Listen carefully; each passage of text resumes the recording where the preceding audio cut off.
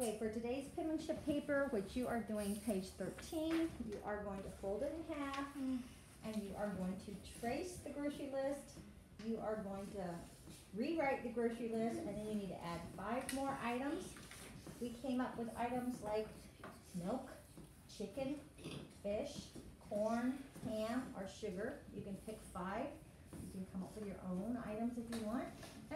You need to write a sentence telling what you could make with some of the items from this list of grocery items.